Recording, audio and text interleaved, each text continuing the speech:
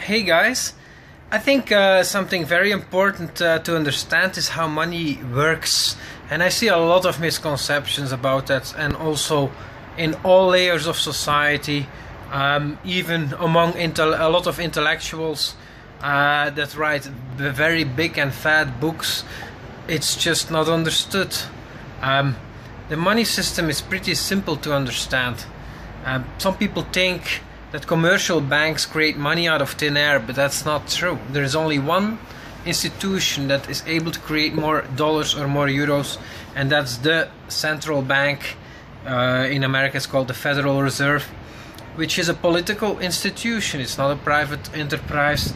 Um, although the Federal Reserve in America has shareholders, the policy is set by the rulers, by the governors, by the by the president and um, his uh, ministers who appoint the director of the central bank who decides how much money is created and what the interest uh, rates are.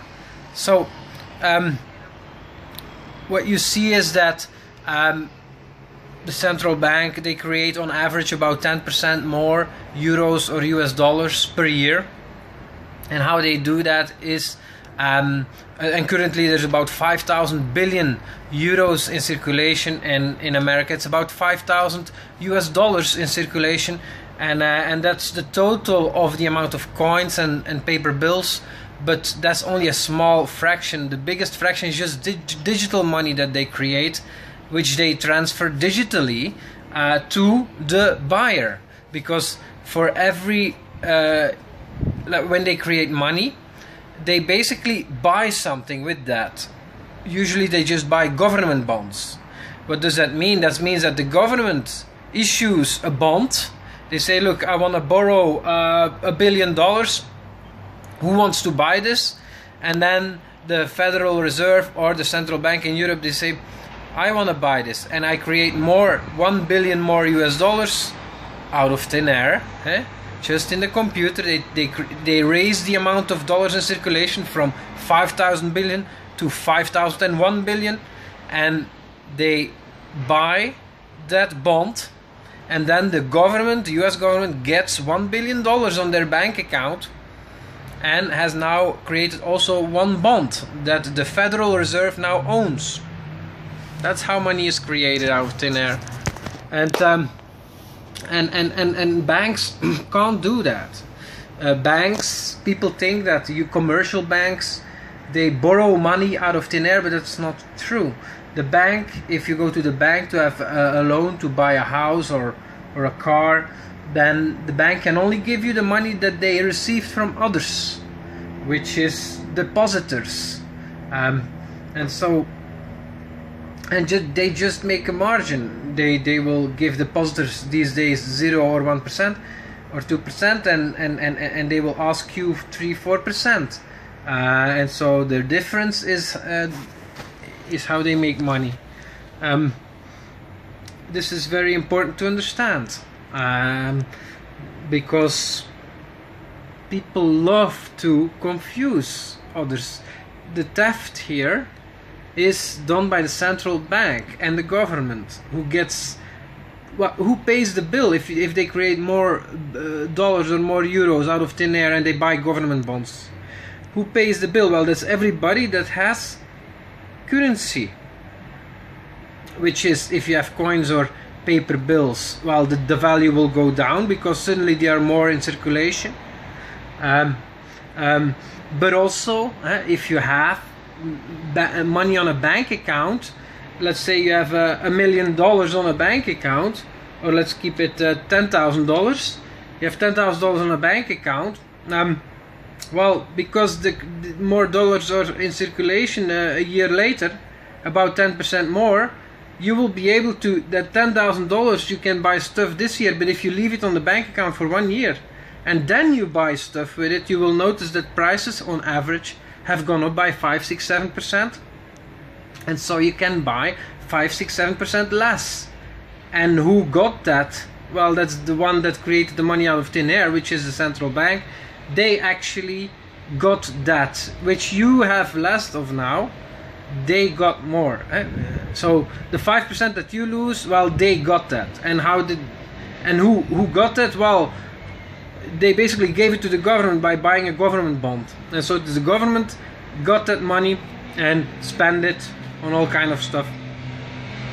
And that's how you uh, lose if you save money. It's not because a commercial bank uh, gives you too little interest. No it's because the central bank created more um, uh, uh, currency.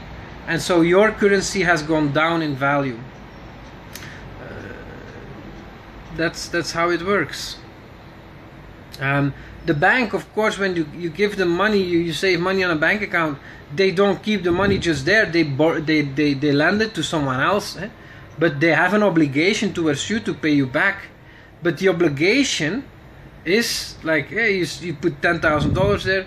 The obligation is to pay you back ten thousand uh, dollars and, and, and, and, and, and that's just yeah it's not a good deal um, because there will be more dollars in circulation every day and so it's not smart to to borrow someone ten thousand um, dollars and say uh, just give me ten thousand dollars back that's not a good deal. You should tell to them if you borrow it for one year you should at least give me ten thousand five hundred dollars back because that will just buy me the same uh, it's I'm not even making a profit here I'm not even counting for the risk to lose my money when I borrow it to you. Of course, the risk is very low when you give your money to a bank that they will lose it because when they go broke, the central bank prints more money and so they don't go broke. So, and so the chance is very low that you will lose your money with the bank uh, quickly, but the chance is absolutely certain uh, that you will lose it slowly, for sure. Um, so yeah. Um, that's how it works and so cryptocurrency is a, a great invention because because you don't have that drain eh? when you save your money your bitcoins for example well nobody is printing more out of thin air uh, and so that's very good there are more bitcoins created but the people that receive them do something useful. They are validating transactions and securing the network and so you get you get that value which is necessary. And um, and, and and and and so even though there are more bitcoins coming in circulation it's it's not well these days it's not 10% per year anymore. Um, it's it, it goes down every year. Um, so if you save money it's better to save it uh, that way uh, but of course, Bitcoin is much more a speculative investment than money because the value of Bitcoin is overall very low $5 billion. Everything will depend on whether more people start using Bitcoin, whether the value will go up or not. And so, Bitcoin, because it's still so small in market cap, is much more of an investment than it is money. Um, forgot to say. So um, people say um, it's it's not creating money out of thin air because the, the, the money created by the central bank uh, and they buy a government bond with it well actually the government will pay that money back. And the moment they pay it back the bond disappears but also the money will be destroyed again by the central bank. And so no extra money was created they just need to pay it back. But of course they never pay it back because the amount of because the year later they borrow again. Like they they just create more bonds and more bonds. They never pay back. And and so so you see that the pile of debt uh, that the government is so, supposed to pay back only grows. Sometimes it shrinks a little but it's like a curve like that grows and then sometimes there's two years or so uh, a couple of years they pay some back and then it goes up again. So and the same with the amount of uh, money outstanding the amount like the, the, the, the for example the European Central Bank I think it was about 2000 billion euros that was in circulation. Then the 2008 crisis happened. They created 1000 2000 billion uh, euros extra. So it went from 2000 to 3000 4000 or something and then and, and then um, in two three years and then it went down by with 500 uh, bill 500 or 1000 and then it went back up. So so it's it's really like that and then it goes down the amount of money in circulation and then it goes back up. So overall it's on average in the US about 15% and in Europe about 10% per year extra uh, currency in circulation. Um, and it used to be that uh, before the financial crisis that it was not accepted at least not in Europe in the, not not the ECB because ECB is pretty new was created in 1999 or uh, in the 80s or 70s but only in 1999 the euro was introduced.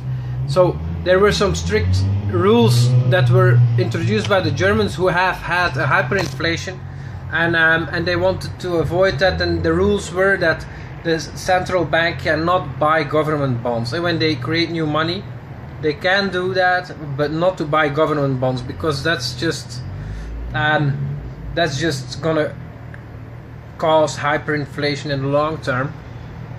And so that was not allowed but what happened was that commercial banks would buy like would issue bonds and then the, the, the central bank would buy those bonds um, and uh, and then the commercial banks would buy the government bonds. So when you issue, create new money of course you cannot control where it goes. And uh, and uh, and there was just one step in between that the commercial banks would just be a step in between to transfer the money created to the government bonds.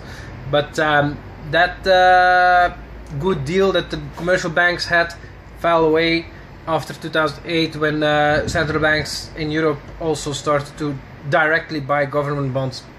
So that's how the system works. Bye.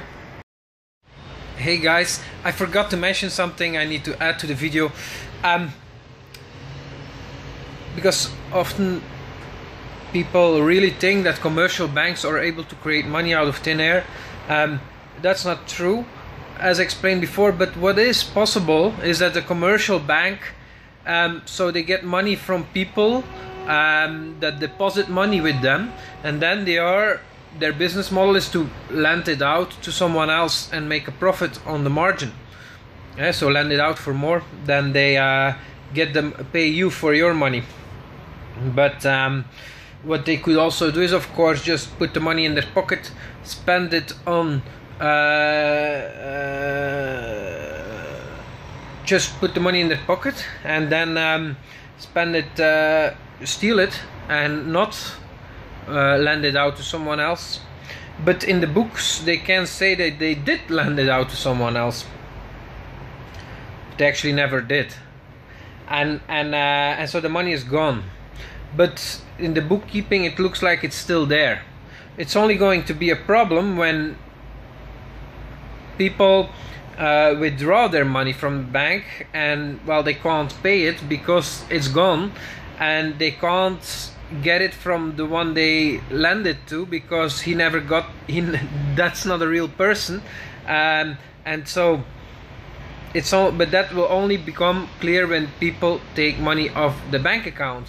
And for a bank, mm, that's never going to happen that 100% of the people want their money off the bank account. It's maybe 10% or 20% uh, on a yearly basis. I don't know the numbers, but and then if you have a bank panic, then maybe it's like 30 or 40%, maybe 50%. But and so it could well be that the bank is actually um, that you're using is not on the books it looks like everything is okay but in reality the money isn't there it's already it's gone already a long time uh, half of the deposits uh, uh, but nobody knows it. And and what happens is then if you get a bank run what will happen is that oh they, they certainly get certainly if there would ever be a panic about that then the central bank just says oh no, we will give this bank or go, local governments oh we will borrow this bank uh, a lot of money uh, uh, or give this bank a lot of money and then suddenly the masses are relaxed again that this bank won't go broke or they raise the insurance deposit like if it goes broke everybody gets 100,000 euro. That's what they did in 2008. They raised it from 20,000 to 100,000 euro, and so most people are then relaxed again and and they don't um, try to take out all their money to, of the bank and and that way the fraud isn't revealed. Huh? Um, that the money is is not even there. So that certainly is possible, especially if you see this balance sheets of these big banks. Uh, these are gigantic numbers. Eh? For example, ING. At the time, it, it changed a couple of years back, but it had a balance sheet of 1,300 billion euros. Eh? Just one bank. 1,300 billion euros. So that's the amount of money that they owe people.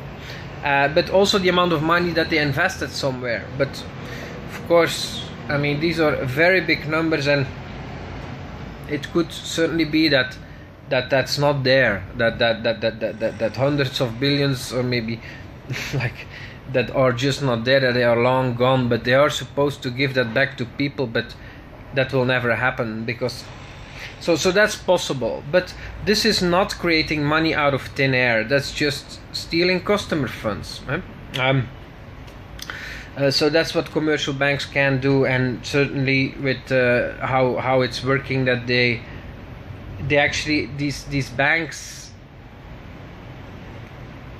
you know these are very old institutions and uh, and, and and so so so so so it could well be that that that, that is the case.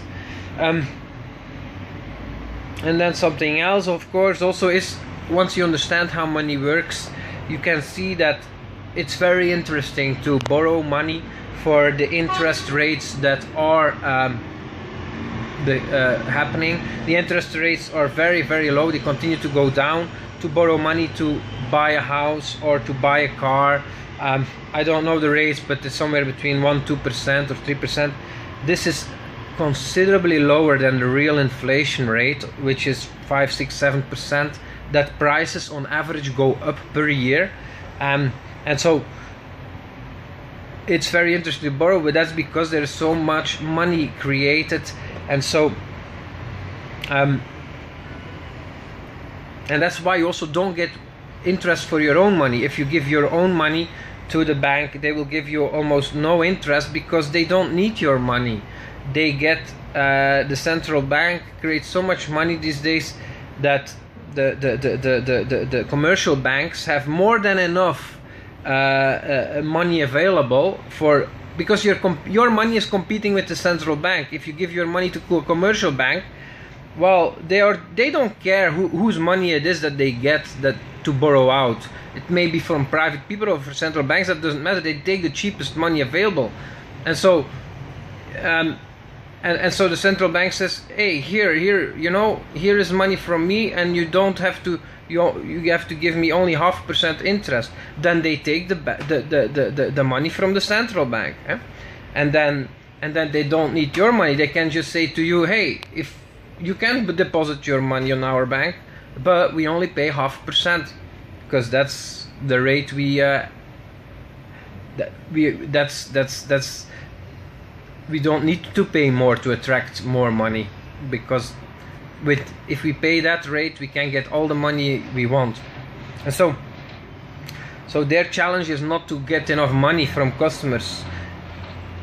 No their challenge is to borrow it all out with a profit margin. And uh, to clients that um, uh, when they go broke they don't lose the the money but they can reclaim it that's why real estate they like to borrow for real estate because if the client doesn't um, pay the bill, they just um, uh, yeah claim the property and sell it off and have their money back. So it is very interesting to borrow in this money system. Um, especially for goods that go up on average uh, with the real inflation rate, like real estate on average goes up with 7% per year, 8% per year, which is not profit, it's just the money goes US dollar goes and euro goes down and pounds they all go down at that rate per year so if you can borrow for 3% the money and you put it in a building and then you pay it off the building slowly and uh, but the building actually goes up with like 7% per year on average that's a good deal so you can certainly make a business out of that but of course, as any business, it's work. Uh, but you, that's an interesting thing to do. Um, so voila, uh, that was uh, some more uh, detail on the money system. Bye.